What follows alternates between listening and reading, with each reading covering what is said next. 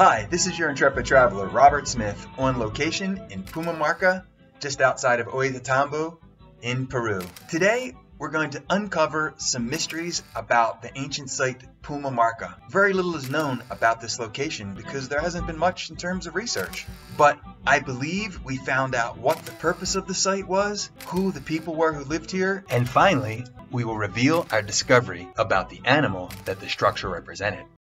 So let's make our way up to Pumamarca ruins and see what we can find. The best way to get up to Pumamarca is to take the Colectivo in the central of the town and that'll bring you up to the trailhead, Pumamarca. As you can see, you're going to pass Puquio terraces, which are fantastic, and you can catch them on the way back. What I did was I made friends with the local folks and I uh, was throwing Spanish around. They helped me get to the trail. Uh, off I went. You'd see some of the, the nice faces. Being able to interact like that in a personal way with the ancestors of the people who lived in these valleys for literally thousands of years, just to feel their energy, it's one of the things that makes this area special in general. And why? Um, the local, local people. This is mi amigo aquí. Auto. Sí. ¿Cuál es su nombre? Ruben. Huh? Ruben. Ruben. And, let's go, and the other uh, passengers here, all locals living in the mountains, heading up uh, on, the, on this on this crazy mountain road. Here at the trailhead, grandmother's going to carry her supplies up into the mountains. The majority of people who live in this area speak only the ancient language of their ancestors, Quechua. This local farmer, he led me up the trail, big jug of chicha in his right hand. And being able to talk with him for 45 minutes on the way up, I learned about what the neighbors were doing, what crops were growing, information about Pumamarca. I talked about the languages spoken. It was fantastic. This trail's probably a couple of thousand years old, but uh, one nice thing is I've been able to talk to some of the folks commuting, literally commuting on this on their road, because people live back in these mountains. I ran into two guys who uh, who were traveling four hours each way. Whew. Super basico, living just like their ancestors did thousands of years ago. I have traveled all over the world exploring ancient archaeological sites, with my primary interest being who lived there, what kind of lives they led, and what knowledge they possessed. Particularly, how their societies functioned, what were their challenges, and how they accomplished they did. From structures, art, to science, agriculture, religion, and astronomy. And for many reasons, the peoples of the Andes are extremely unique in the world, both for their incredible success in this harsh geography and for their amazingly advanced societies living and flourishing in these same difficult conditions. Here I am in the middle of the Andes Mountains in some obscure valley on top of this ridge in this area called Puma Pumamarca, occupied a thousand or more years ago. But just being here knowing that there was whole civilization in this area, families and entire lives, and they thought it was this was the center of the earth for them. But in fact, and as we definitely know, it was not the center of the planet. In the beginning of the video, we talked about the discoveries. Who had lived here? What was the purpose of the structure? But before we get into that, what don't we know about Puma Pumamarca? In the case of this location, very little is known. There is little or no evidence that sheds light on what the site was. There have been no studies of the site, and most information is just conjecture or just plain incorrect. So what we don't know is a lot. What do we know about Puma Pumamarca? Or perhaps I should say, what we discovered and then concluded based on our findings. This is definitely a pre-Inca site. It was more than likely built and occupied by either the Wari culture 600 to 1100 AD or the Kilki culture 900 to 1200 AD. The Wari occupied the Cusco area for about 400 years, as well as vast area of what is modern-day Peru, particularly in the south and central Andes and coastal regions. Thus, many of the characteristics of the Inca Empire are derived from the Wari terraces, buildings, temple design, agriculture, and canal systems. However, there was also evidence of another culture that lived in the valley, the Kilki.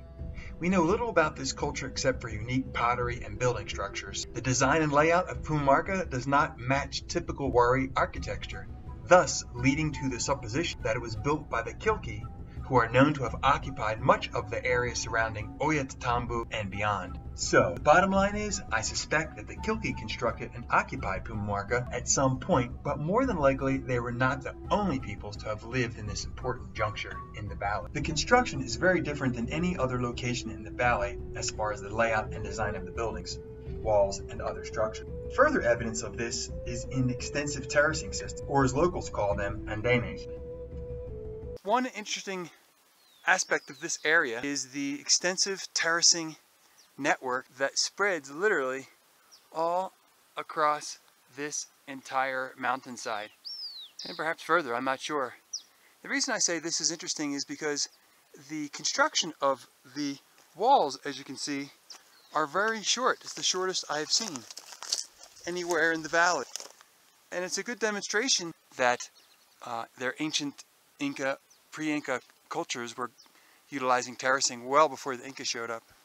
Pumamarca was assuredly a living fort, or perhaps we can call it a fortified city, as has existed throughout the world in ancient times to protect the residents from hostile incursions.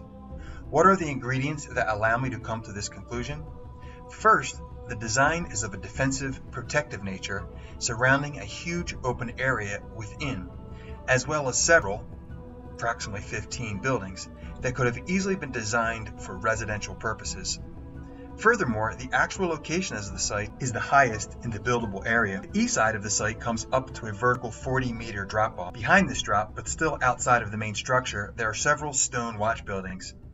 30 to 40 meters behind these, the city's walls start. On the southwest side of the city, which is left, is the most exposed and less steep. Although still at a high angle to the top, there are a series of terrace walls that would offer initial lines of defense. And then the main city walls, which are the tallest and thickest stone walls on any side. All walls are made at a 90 degree angle to the next section. I'm convinced of the military nature of this structure and how it was built. That doesn't mean it's its only purpose, Perhaps any uh, ancient city had protective walls for the residents in the case of invaders. But uh, what I'm talking about is look at the 90 degree angle wall system all along here and then the steep face in the front here. So if you had enemies coming in at you from this direction up close to the wall, you could still deal with them from the sides. Why do I call this a living fort? Well, it's obvious that lots of people were living and working near this walled city. They are huge open flat areas in the valley below on three sides where big valleys and rivers come together. This of course allowing for very productive agricultural operations. In fact, these valleys are still growing crops today in both valleys. It is fantastic to see the ancestors of the original people working the land by hand and in many cases using the exact techniques and tools as has been done for thousands of years. But there is more. The hills surrounding as well as slopes heading down to the valley from sites are still covered in terraces. A huge mount half bowl filled with still standing and still functioning terraces that are being used by farmers and still being watered by the ancient water canal systems. This quantity of growing area, both on the hillsides and in the immediate valleys, could support a significant population, and they had to live somewhere. I'm not suggesting that they all lived in the fort. On the contrary, they, like their European or Asian peasant farmer counterparts, lived and worked outside the castle wall, while the rich and famous lived inside the facility where they lived in stone rather than buildings made of mud and thatch which is what the majority of the local population was living in. And again, like their worldwide peasant counterparts, they probably had a pecking order of who got fort access when an attack was underway. I was imagining what it must have looked like when it was fully in operation. Houses everywhere, organized and active terraces being worked by thousands of farmers the sounds, smells, and activities of a large community. When I'm at these sites, I always wish I could travel back in time to see what it was really like in full action. As to why the buildings are on one side of the structure, covering approximately 15% of the compound, is unclear. My guess is the open area was filled with non-stone structures. They could have been used as storehouses, workshops, military barracks, or perhaps all of the above. In addition, I am sure there would have been open space just like this in any community environment. It would be great to do some excavation on the site to see what is under the ground. The location in general at the conjunction of the Patacancha and Yuracmayo river valleys and relatively gently sloping hills that surround this area were clearly of practical and strategic importance. Practical for the reasons we have mentioned, and strategic from a trade and defensive standpoint. There was trade and commerce through the mountains and into the jungle community. We know there was trade because products and goods from all over the Andes, the jungles, and even from the seas circulated throughout the valley kingdoms. As far as Pumamarca being a defensive position, it would have been an early warning system to the much more populated Urubamba Valley just 10k from the site. And considering the sheer size and importance of the Urubamba Valley area, it would have been a necessary precaution to stop invading armies from pouring down into the valley from the north. Plus, from this point to Ollantaytambo, there were vast areas of valley floor and terraces on the mountainsides being used to grow food and house a robust population. So Pumamarca was connected with every other city and community in the area, and more than likely in the entire Sacred Valley and beyond. And this was the case well before the Inca showed up, and then when they did take over, this community continued to flourish. I'm not implying that the Incas didn't control this area and location and more than likely administer whatever rules and regulations were necessary, but it is interesting to note that there is no evidence of any architecture, buildings, canals, etc., that is indicative of Inca influence. So my assumption is the people that were there when the Inca showed up remained there and paid their taxes like every good Roman should. As I mentioned before, there are many terraces surrounding Pumamarca. And unlike the more carefully built terraces closer to Ollantaytambo, the terraces at Pumamarca are smaller height-wise, roughly built, and use the same type and size stones as the city wall. Yet another hint that these were built much earlier than the arrival of the Incas.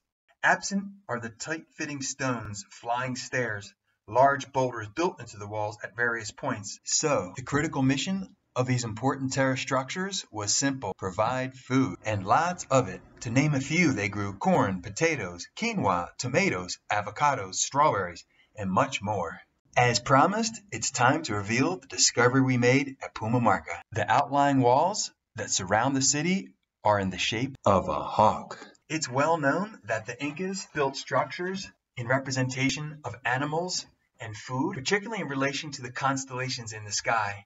And if you look at this structure, the outline, this is clearly a bird. Pre-Inca civilizations were also designing structures and representations of animals, as was the case of Pumamarca, where this large, thriving community built this important structure not only for practical reasons, but also out of respect and reverence with the other living creatures they shared this valley kingdom you know, it wasn't until very recently that we had Google Earth, so perhaps I am the first person to notice it. And quite frankly, I think if people knew it was, this would be a more important site. But for me, I prefer to visit sites off the beaten path and allowing for me to make my own discoveries, which is exactly what happened at Puma Pumamarca. So, what did we learn and discover about Puma Pumamarca? Well, Although more than likely not the only culture to live in this area, the Kilki civilization constructed and occupied this important strategic location.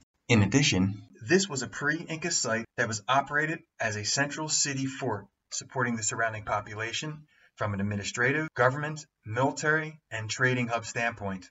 Like anywhere in the world, this was the city center, and like any city of history, was fortified for protection from hostile invaders. The Inca definitely would have controlled and influenced this city and surrounding areas, and perhaps had administrators directly take over operations. But for the most part, I suggest this site was already a productive and bustling city when the Inca showed up. And instead of destroying and conquest, Incas absorbed and benefited from what had already been going on for more maybe than a thousand years in the successful and thriving community of Pumamarca. And of course, we made the exciting discovery that the shape of Pumamarca is that of a bird. There is so much to see at this wonderful location, and it really gives what I consider an authentic feel of what it must have been like for the people who had lived here thousands of years before. With a little creativity, power of observation, and a sprinkle of common sense, this could very well be one of your favorite locations to visit while traveling in Peru.